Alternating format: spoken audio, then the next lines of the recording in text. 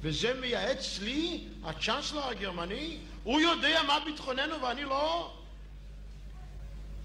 אני הופקדתי על ידי העם לשמור ביטחונו. זו חובתי הקדושה. והוא נותן לי עצות לכל אירופה ולכל העולם איך להכריח אותנו לקבל מדינה פלסטינית? הרי זה מעשה איבה שלא היה כמוהו. וממי הוא בא?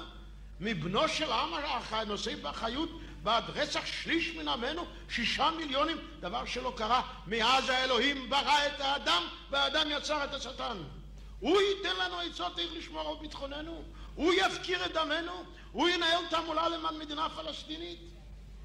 אז כשאדון שמיט, צ'נסלר, נו, תסלחו לי רבותיי, אני באתי מן המחתרת הלוחמת, אני לא מפחד מפני אף אחד, אני אומר לו את האמת בפניו, אין לי שום סיבה לפחד, אנחנו ראינו את המוות לעינינו כל יום, אז כשהוא אומר דברים כאלה אני לא אשיב לו?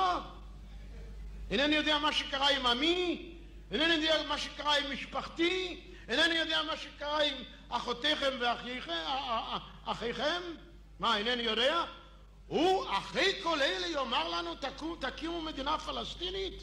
כלומר, תעמידו את שלושת מיליונים וחצי היהודים בארץ ישראל בסכנת מוות וכיליון? ואני לא אשיב לו? לא שיבותי לו. כמו שצריך, ידידי. אני לא מוותר אפילו על מילה אחת ממה שאמרתי.